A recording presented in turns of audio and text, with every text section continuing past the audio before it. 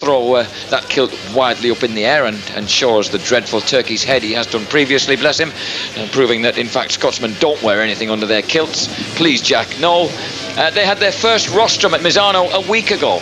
Uh, brilliant result for them and um, they have qualified on the second row of the grid here. It is, of course, the famous pointed grid. So uh, the Clark Grand Prix boys are on actually the third row of the grid there, number six. That's the three-man row alongside Janssen Hopkinson and Stevie Abbott and Jamie Biggs. And then the two-man row in front of them is uh, Steinhausen and Parzer, the number eight, Suzuki and Klaffenbach Harney, the number two Suzuki, the OKM machine on the left, and of course that menacing number one at the front of Steve Webster, Paul Woodhead. Um, and we are looking forward to round seven as they head off on their warm-up lap. There are only 17 outfits on the grid, and um, the reason for that is that we, we lost one of the guys, unfortunately, after an accident in training, which uh, means that they, they weren't able to make the start. We've also lost, incidentally, Brock Gray, the second of the Clark Grand teams.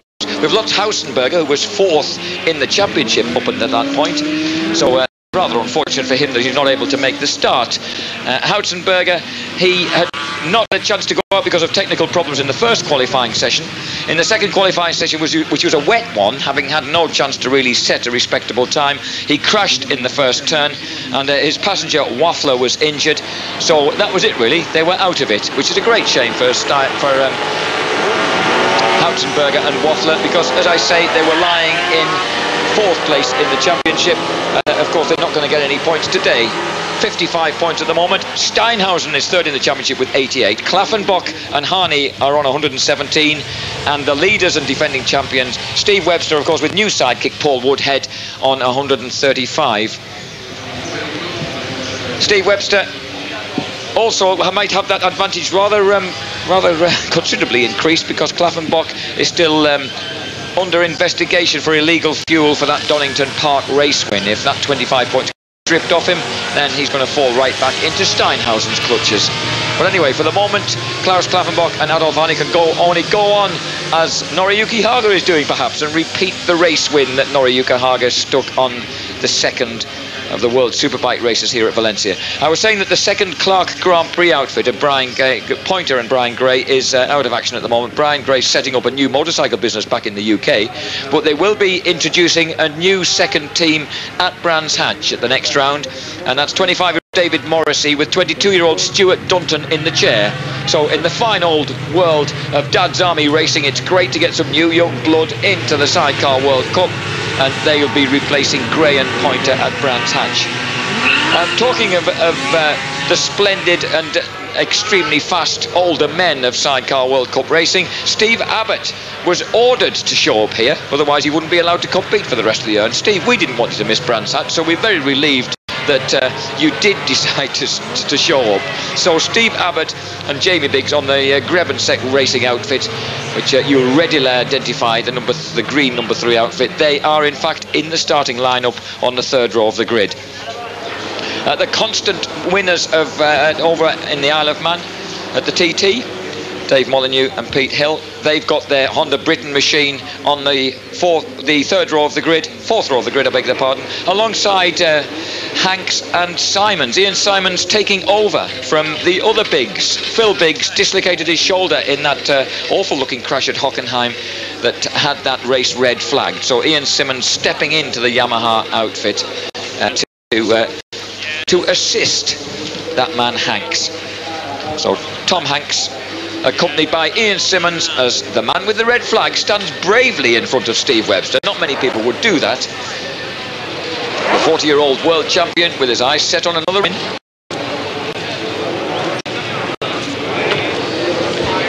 So round seven of the World Sidecar World Cup about to commence here at Valencia in Spain at the Circuito Ricardo Tormo and Steve Webster on pole position, his great rival and the number two red outfit, the OKM outfit, Klaus Klaffenbach on the second row of the grid.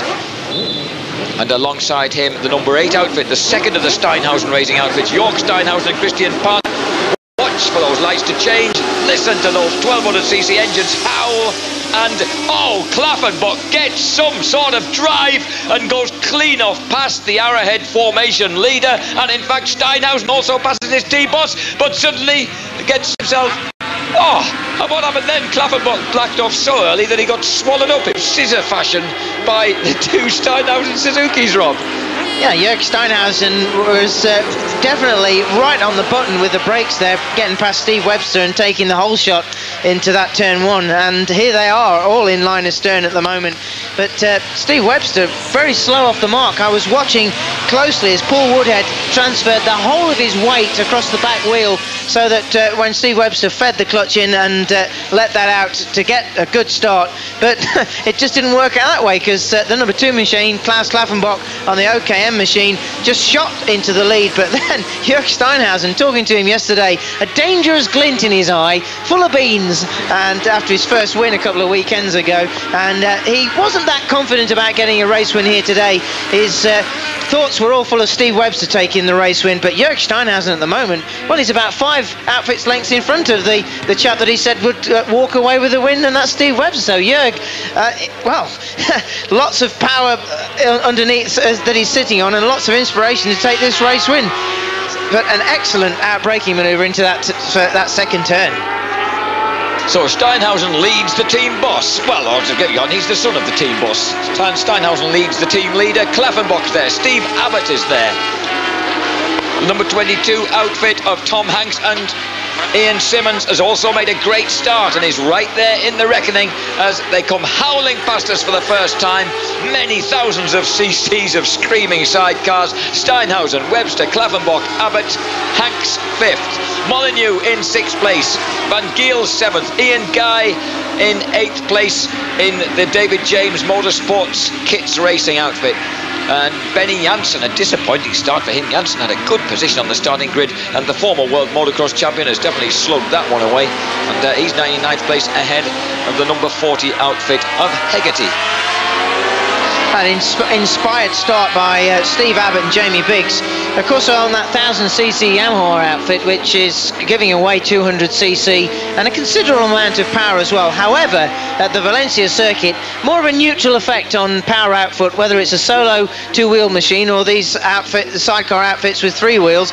And the benefit for Steve Abbott, he was telling me at Donington Park earlier in the season, oh, and the 26 machine is out of the picture. And that's Gary Smith and Tony Ballas on the uh, Team uh, ASG Suzuki. Goodbye to them. out in the just lap one of 23. But Steve Abbott, uh, a lot lighter that outfit, and around this circuit with lots of well three hairpins and third and fourth gear corners, uh, he'll be able to use the later braking capability of his 1000cc Yamaha outfit, and consequently, Steve Abbott threats and all about you better race at this meeting or you can't do the rest of the season and that's inspired him because he's in a very healthy fourth place at the moment at, uh, I'm impressed with the guy behind him, Tom Hanks, with a newcomer in the chair, Ian Simmons. He is really looking quick in that blue FTC Yamaha. Look at him, closing right up behind Steve Abbott through the final turn.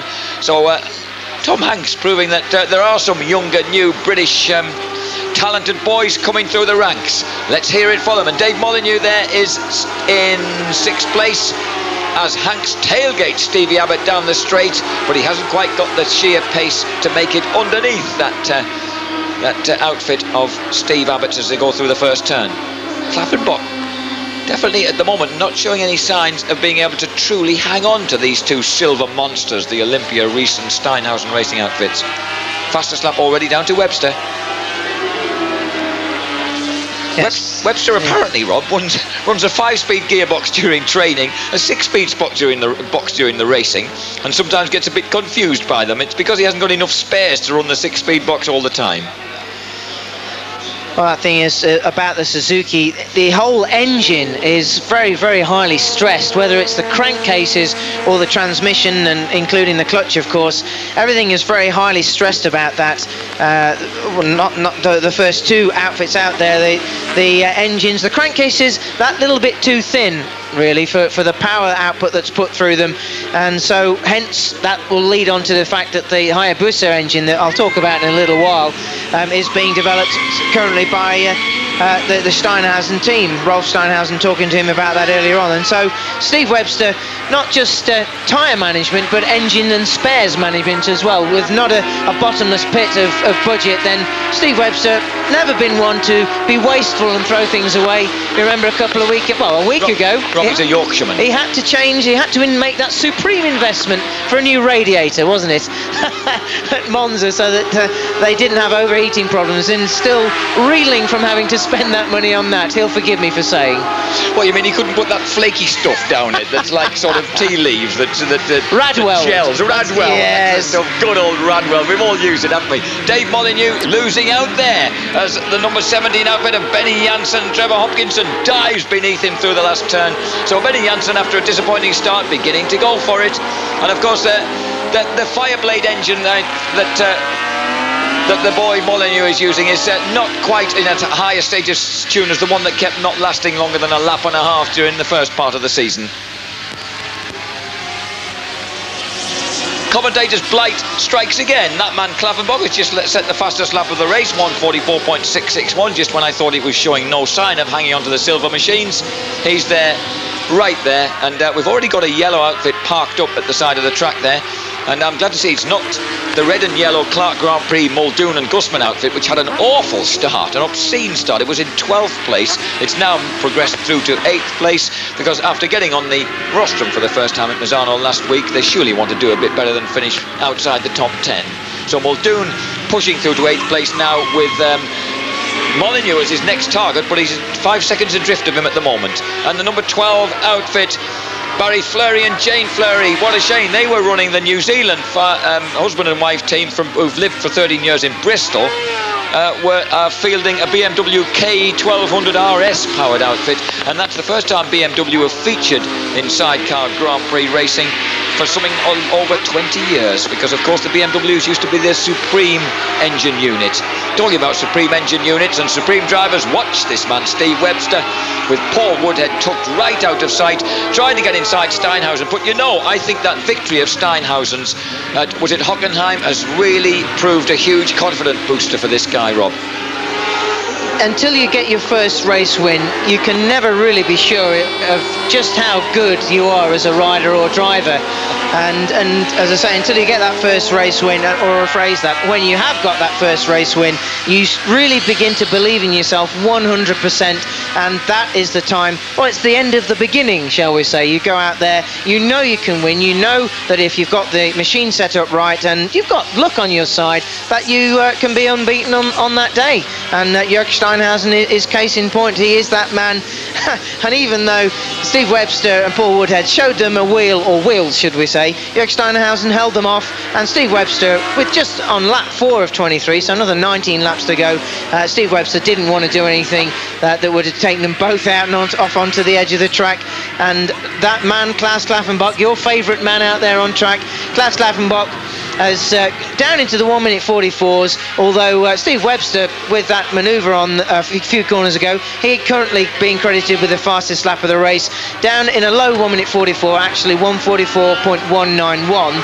Uh, really just staying in line astern, bags and bags of time to go later in the race to make moves uh, on that eventual hopeful race win.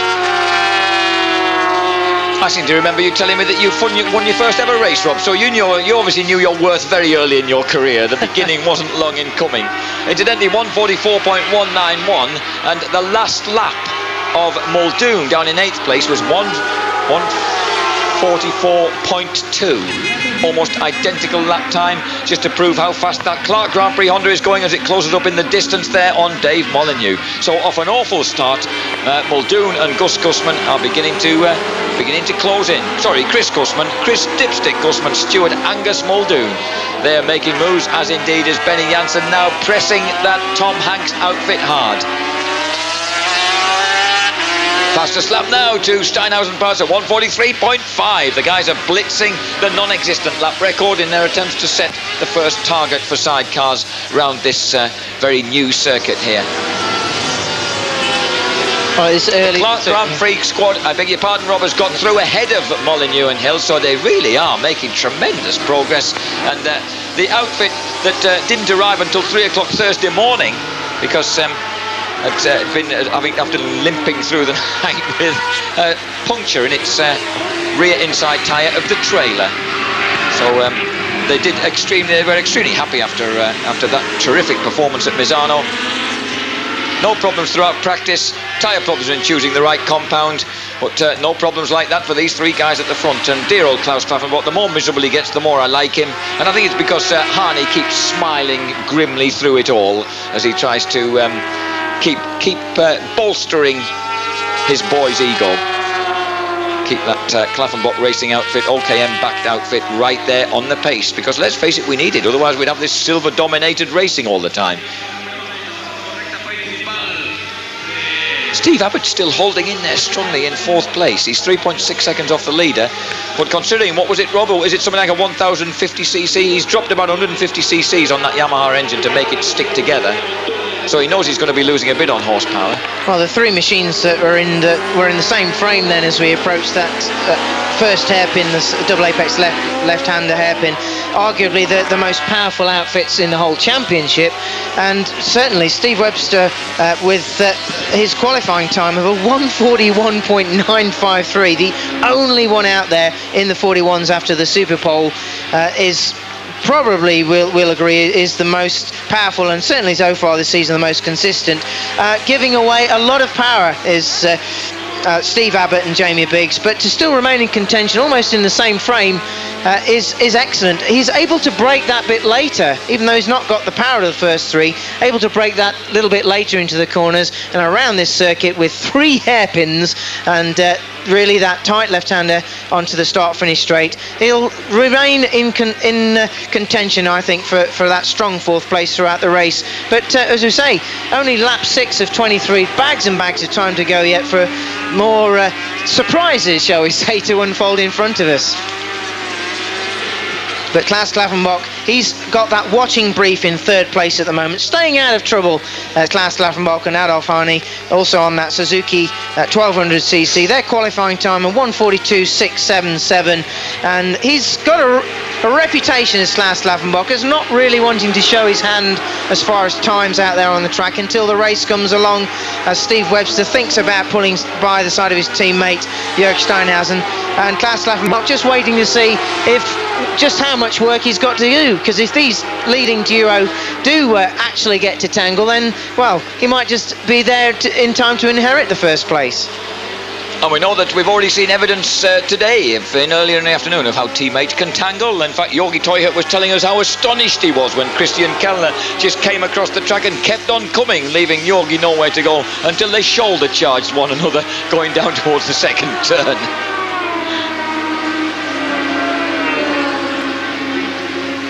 This is the Olympia Reisen Suzuki 1200cc monstro of of uh, Jörg Steinhausen. Number one, the identical outfit of Stevie Webster. And number two, look at that, the OKM outfit, similarly powered as Webster would, of Klaffenbach and Harney, as Webster would had dipped further in, 132.288. Klaffenbach did a 130.43.5 on that lap. Abbott a 144.1, Janssen 144.1, Hanks 145.4, and Muldoon 143.393. Muldoon, if he hadn't hashed his start up as much, really would be right there in the frame. But uh, the Muldoon on that Clark Grand Prix outfit there's Stuart and Chris very, very confident for a rostrum finish this weekend again. But uh, you've got to get out the start, boys, to do that because you've got to you've got to catch up with these big heavyweights up front.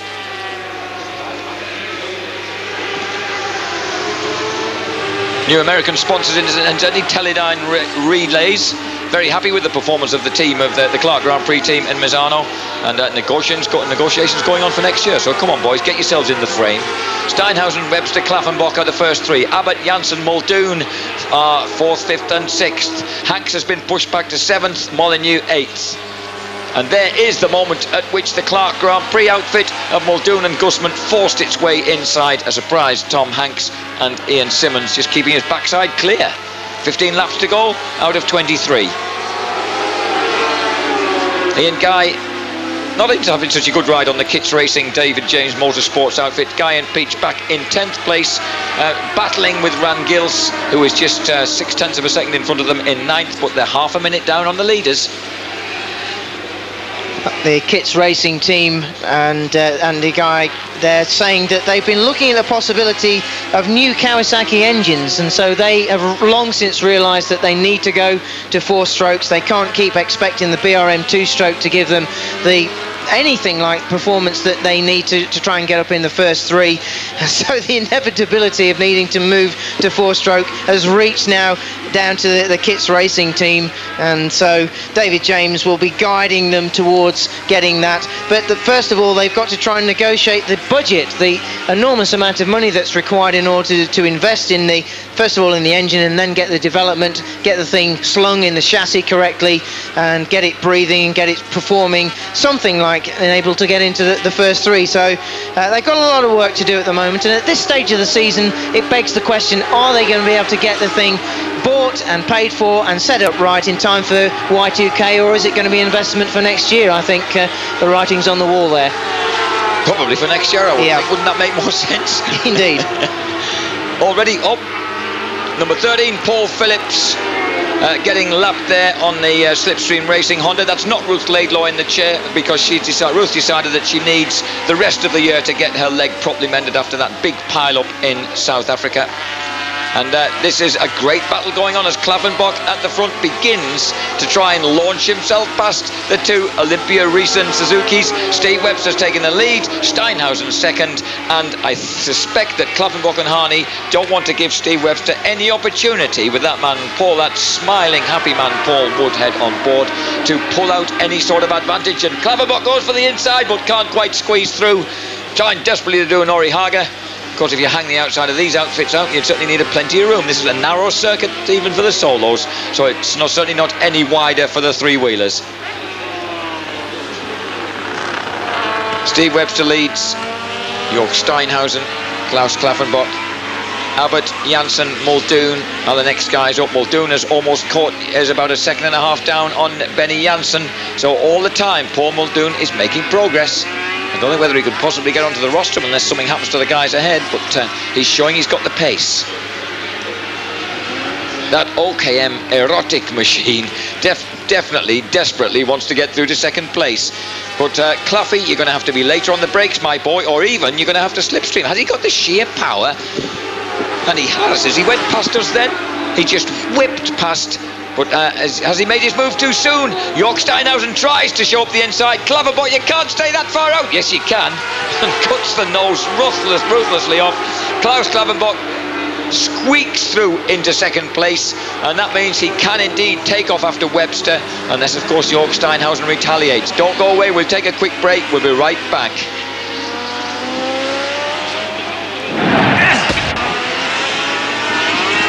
Klaus has just snatched the lead in this dramatic sidecar World Cup race here at Valencia in Spain. Paul Woodhead and Steve Webster get unceremoniously shoved aside. The 40-year-old Yorkshireman takes a long, hard look over his left shoulder and finds that his teammate Jörg Steinhausen is now a good 100, 200 metres behind him, so no worries there right now. He can focus on the man in front. Steinhausen nearly three seconds off the lead. Klaffenbach with that 142.525 second lap has taken the lead. Webster at a 143.378. Steinhausen 143.3, Abbott 143.5. So those guys keeping up a terrific pace, and Paul Muldoon has moved through into fifth place, 15 and a half seconds behind the leader. But certainly the Clark Grand Prix guys, and there they are in the red and yellow outfit, are really this weekend and last weekend, and this in these uh, tighter, smaller tracks at Misano and Valencia, finding the sort of oomph that they need and really coming into their own. Tom Hanks, the FTC Yamaha of Hanks Racing, hanging in there in seventh place. They've got a six-second lead on Dave Molyneux and Peter Hill. But certainly the Clark Grand Prix guys are moving up the ranks in terms of sheer speed. And here's Klaffenbach making his move on, wow, and it was a very clean and very, very explosive move he made. There was no doubt in that one, Rob. And very impressive because uh, the Klaffenbach outfit has just pulled out and driven by both of the, the Steinhausen outfits coming onto out of turn 14 uh, when Klaffenbach moved from third up to second. Uh, he somewhat awkwardly came around the left-hander and very quickly up onto the back wheel of uh, Jörg Steinhausen and just wrenched the sidecar over to one side and drove straight by uh, Jörg Steinhausen and Christian and didn't even need to use the slipstream effect. On that occasion when he went by Steve Webster, slipstreamed him a little tiny bit but pulled by there easily, no problems at all. So that uh, crafty warrior of Klaus Klaffenbach, he does sandbag so much and waits to just zap you when you least expect it. The Clark Grand Prix guys, number six, 26-year-old Stuart Muldoon, 26-year-old Dipstick Gusman in the chair, and they might just be on a fastest lap. Claffey, look at that, 141.642. That's the new benchmark for sidecars around here. But uh, Benny Janssen the uh, old warhorse himself, 1990 World Motocross Champion, moved over on, into road racing two years later. Uh, he's the man who's on the move now and beginning to cut back on Muldoon and Gusman. Muldoon and Gusman, they better keep that momentum up because they might just have company pretty soon.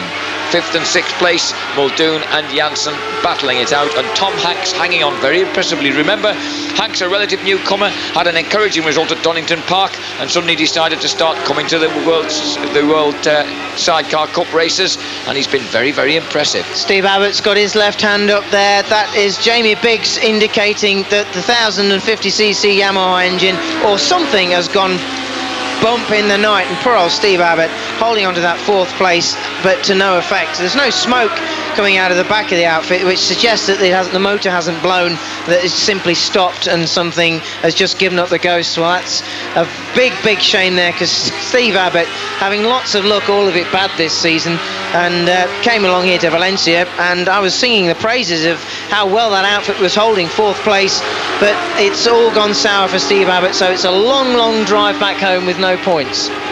What a shame Steve Abbott goes out of the Valencia Sidecar World Cup and uh, well Steve just make sure you come and give us a good show at Brands Hatch that's the boy well that's very disappointing always enjoy watching those guys in action Jamie Biggs there takes out his earplugs. Uh, it's all right, Mum. He's still in one piece. Unlike uh, un unlike his brother who uh, dislocated a collarbone, uh, dislocated a shoulder at Hockenheim, and the other brother, bless him, who had leg, in leg injuries after crashing with Jeff Bell at Croft up in my native northeast. Uh, so I hope uh, brother Biggs the third is feeling a bit better now and on the road to recovery. Meanwhile, at the front, on the road to winning at the moment, unless something goes deeply wrong, Klaus Klaffenbach beginning to pull away from world champion uh, world champion uh, half a dozen times over, and that is Steve Webster with a lot of air underneath his sidecar wheel. And uh, Benny Janssen, the 42, well, he, he just turned, the Dutchman just turned 42 years old back on the 16th of this month, and uh, he's the man who's challenging Muldoon at the moment. Janssen is just six tenths of a second behind in that battle for what is now, of course, fourth place. Steinhausen is trying to keep these guys in sight, but not succeeding. Steve Webster, however, is retaliating. You can never get past Steve Webster and expect him to just go away. That's why he's been world champion so often. He is beginning to pick up his pace to actually stay somewhere near Klaffenbach and keep some sort of pressure on him.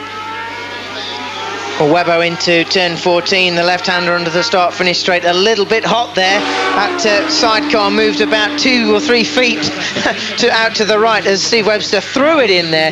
Really not too much braking going on there. The way on many occasions as the sidecars slow themselves down, inverted commas, to get around a corner is just throw the thing sideways and let the laws of physics hopefully scrub off a little bit of speed. So Webbo is on the move. The man who originally, of course, became world champion in 1987 with Tony Hewitt in the chair three times in 87, 88 and 89. It's a bit like a where are you now? Where are you now, Tony Hewitt? What are you doing? Steve Webster won again with Gavin Simmons in 1991 and then returned after, of course, we'd had a double world championship for Darren Dixon and Andy Hetherington in 1995 and 96. And then the Sidecar World Cup took over and Webbo took over again with David James, 97, 98 and 99. Two hat tricks. The OKM machine then, Suzuki engine OKM machine of Klaus Klaffenbach and Adolf Harney, the Austrian-Swiss combination, sliding gracefully along in the lead at the moment. We're going to take a quick break. We'll be right back to see if Benny Janssen can catch the Clark Grand Prix, guys. It was back in Spain at Albacete just 12 months ago that number 17, Flying Dutchman Benny Janssen, had a major collision that uh, damaged his passenger, Franz Geurts van Kessel, the man with whom he'd raced for over 20 years. And now, with Trevor Hopkinson in the chair, the number 17 outfit of the former world sidecar motocross champion is right there, challenging for fifth place against the Clark Grand Prix squad of Paul Muldoon and Chris Gussman. And that beautiful blue Hanks Simmons outfit trying to hang on to the two of them. But Benny Janssen, 42 years young, became national sidecar road racing champion in 1994 and again in 1995 in Holland, and then was ninth in the World Sidecar Championship, the World Cup in 1998, and then dropped, uh, dropped of course, to 17th because. Uh, he went out halfway through the season last year, but he's back, and so too is Webster. As they begin to get into the back markers, and the number 11 outfit of Paul Steenbergen and Rennie Steenbergen from Holland uh, get rapidly dispensed with, suddenly Klaffenbach has got Webster for company once again.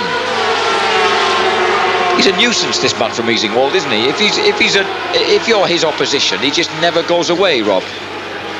Now that that's got to be good news, and it, it's to be expected as well. We've got five laps to go here, and uh, these two arch rivals are slugging it out around this Valencia circuit. And as we've said earlier on, you can count on the fact that either Steve Webster's going to come back at you or Klaus Klaffenbach's going to come back at you.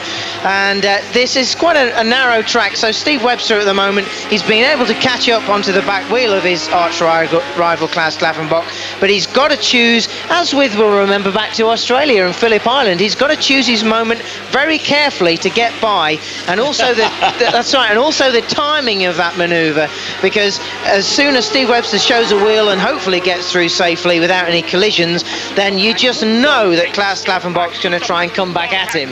And uh, oh, the and number 11 lap the Steenbergens go out. Yeah. But uh, I hope they get they're getting themselves off the middle of the track, or, or they're rejoining the track. I think they probably over outbrake themselves trying to keep out of the way while it's being lapped. And uh, I, I like the word carefully because uh, I thought the Phillip Island performance was in fact one of the most wondrously careless pieces of overtaking I'd ever seen, as, uh, as it lobbed Adolf Hänni somewhat contentiously out of the chair. Anyway, Klaffenbach now, look at that, 236.8, 238.9 maximum speeds as they go screaming down into the first turn, up the hill towards the Mick Doohan hairpin.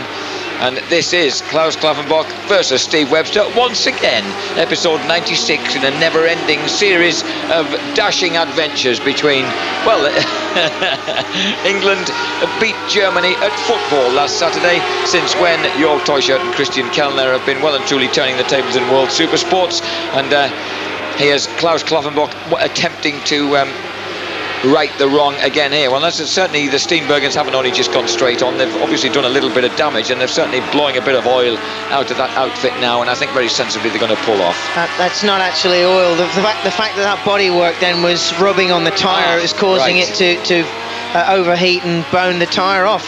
The the frustrating thing for the Steenbergens in is that they are technically in 11th place, even though they they're a lap down, and so that's more than a, a few points. If they can just keep going, I think I'd have been tempted then, Jack, to rush round the front, rip that bit of bodywork off, and then carry on and get a few points. You can't afford to come this far and go home with no points and very little prize money. It's it's just too heartbreaking. I, I couldn't face that possibility.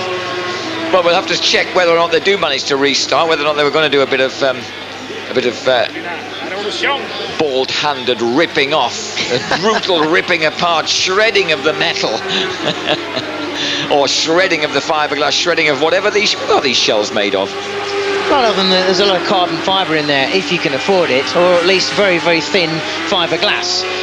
But uh, something that mystifies me, you know, Jack, is that uh, Klaus Klaffenbach, when he made his his dramatic ma- manoeuvre up from third to take the race lead, he banged in on lap 13 a 1 minute 41.642. That's 0.3 of a second faster than Steve, Steve Webster's super pole, pole position.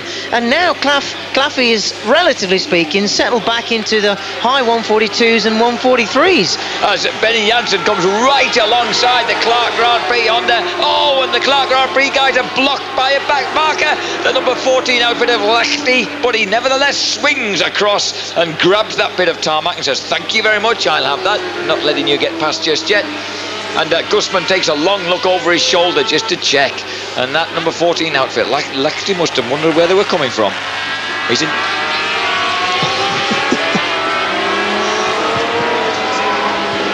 And that was how the problem came about because we almost look at that. They were actually touching one another. The Clark Grand Prix guys, Muldoon went way wide as he tried to lap Lechty in a hurry, and suddenly he found himself clashing fairings with Benny Janssen. Don't mess with this man, he's a former motocrosser. and this next outfit for the Hammer, number 15, the Van Giels outfit. Number 15 lying in ninth place. Martin and Tony Van Giels on the Janssen, uh, they, they're in a, a Janssen Racing Suzuki. Part of the same squad. About to, they'll be getting lapped by the boss soon. The OKM outfit is still there, but he doesn't seem quite as clever going past. As soon as I say he's not quite as clever going past back markers, he whistles past the Van Giels. Steve Webster follows suit. Klaffenbach, all you can do, Claffy, is keep winning. If they're going to strip you of 25 points, all you can do is keep, keep winning. So, like Nori Haga, that's what he's uh, attempting to do while the FIM sort themselves out. Well, that little mystery I was talking about, Jack, where uh, Klaus Klaffenbach came by and did a 141.642 and then settled back in almost two seconds a lap slower. Uh, he is now fired up that uh, OKM machine, that Suzuki. He's giving it the berries now. Klaus Klaffenbach has dropped his lap time down to 142.057, so much, much faster. And Klaus Klaffenbach, as I say, with those two laps to go, he is now making the sprint for the for the race win and uh, looking as though, at least at this this stage of the race that Steve Webster hasn't got anything to reply at this point. I did promise you folks back uh, in British Eurosport land that I'd give you an update on that fuel-injected Suzuki Hayabusa engine and talking with uh, Rolf Steinhausen, of course uh, Jörg Steinhausen's dad, Rolf Steinhausen says at long last they are glad to release onto the track to unleash the power of that fuel-injected machine which will be next week in a German championship race at the Nürburgring. So so that will be out on track for the first time, the, the, the fuel-injected Hayabusa engine. And uh, Rolf Steinhausen saying that if it's successful there, it may well come along to Brands Hatch and will be treated really, really to something unique. And, well, in old money, that's the first time ever to see fuel injection coming into sidecar racing for the first time. So, fingers crossed. I don't know who's going to be driving the outfit at Nürburgring next week, but the outfit will be there on track for the very first time. Can't can't wait for the outcome of that.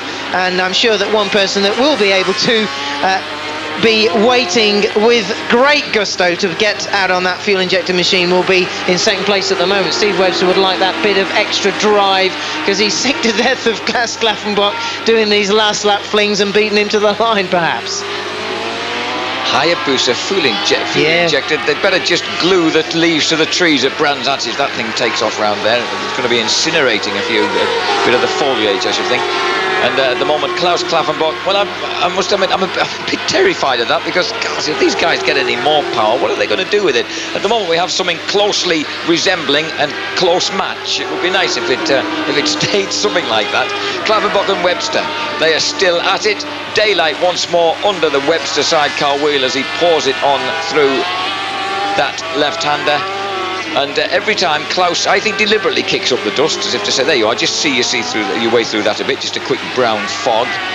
And uh, wow, wheel spin from the, the, back wheel there from Webbo. The rubber smoke from Webbo's rear end. How much power does the man need? But it's working. It's closed right back up, and he's going to be looking for a lead. We're on lap 22. That we're on lap 23 of 23. I think we're on the last lap. We've got 22 laps completed. Webbo's going for the outside as we come down into the last turn. And Klaffenbach gets his head down. He's got to go for it. He's got to keep Webster behind him if he possibly can. Checkered flag goes out. Does it or does it not? No, that was it. We had the finish line. I didn't even see the checkered flag, but uh, there we go. The uh, Al is clapping Claffy round the shoulders if to say, well done, sunshine. Hope you checked your fuel yesterday. And look at this. Benny Janssen still hasn't made it past that obstinate man, Paul Muldoon. Muldoon and the Clark Grand Prix Honda are hanging on there in fourth place. But it's not over yet. The Teledyne Clark Grand Prix Honda dives down into the final turn, and Benny Janssen bless his heart, not quite having made it after all that effort. Some real fairing, bashing stuff there going on for fourth and fifth place. Paul, Paul Muldoon takes it. Janssen is fifth. And I think Hanks is going to go across the line. Just hold off Dave Molyneux as they go past us now. I thought for a moment that a hand went up in the Hanks outfit as if they might have been having some problem. They were. Oh, can you believe it? Tom Hanks and Ian Simmons are having to run for the line and they're getting overtaken in the meantime. Molyneux's gone across in sixth place. Oh, can you believe that? They must have run out of fuel. There's or is it fire. on fire? Uh, hang, now, hang on, fellas. What's more important? Yeah, that's all very well. If I were you, I think I'd run for cover. But obviously, they desperately want to finish. Ian Simmons risking his life now as standing passenger. and they're, they're asking for a mobile fire extinguisher. Hanks is still in seventh place. Ian Guy and Andy Peach haven't shown up yet. It's a possibility that, that that that is the where the exhaust outlet into the air, and there's so much heat from that. If there's not a fire extinguisher soon, this is not going to be a laughing matter. Just want to get the points first. And the fire Put the extinguisher fire arrives. And, uh, oh, a dramatic collapse there. What's, uh, I think you'd be tired out of trying to push the outfit in 30 degrees of temperature. the guy is tired. Well, I, I think uh, I I think he's probably saying, "Can we? Can I? Uh, can I retire again now, please? Can I go and play back at home, Mr. Hanks?" And it looks as if Tom Hanks and Ian Simmons aren't going to get any points. Unless, can they carry on pushing now? Goodness sake, all they've got to do is get across the line. Go on, mate, keep going. You'll have to keep your helmet on, though, otherwise they'll say you've broken the rules. Come on, you can do it, Sunshine. He is going to have a bash as well. Oh, no, he can't. Oh, yes, they are going to push him over. Surely that's outside assistance. Is that allowed? I don't know. Well, they've both got cool hairdos. Keep pushing, boys. At the moment, Ian Guy's gone across the line in seventh place. Van Giels, remember, was lapped. So these guys, if they can make it to the finishing line, and they've got to beat their crash helmets on, if they can make it to the finishing line, then they'll get eighth place. They're just about there. The checkered flag is trying to encourage them. Another dramatic collapse. Ian Simmons falls all over the chair. His crash helmet lolls off his bald head. Oh, bless him. So there, is. I come all this way to stand in for you. I suffer, all, I almost suffer incineration and then heat exhaustion, and we get eighth place for our troubles. Well, what a wonderful finish. Klaffenbach, well, it was wonderful for us to watch. I'm sorry, Tom Hanks, I appreciate it wasn't the best of finishes for you. You should have been sixth, you ended up with eighth place. Klaffenbach and Hänni then, they win a fine race against Webster and Woodhead. Steinhausen and Parts are eventually 24.9 seconds adrift in third place. Muldoon, Gussman, who really were on the pace of the leaders for a lot of the time, and Webster did a 141.990 on his last lap. So uh, that was a pretty dramatic race. Ian Guy and uh, Andy Peach they finished in seventh place. So that was the World Cup side country ADM Honda.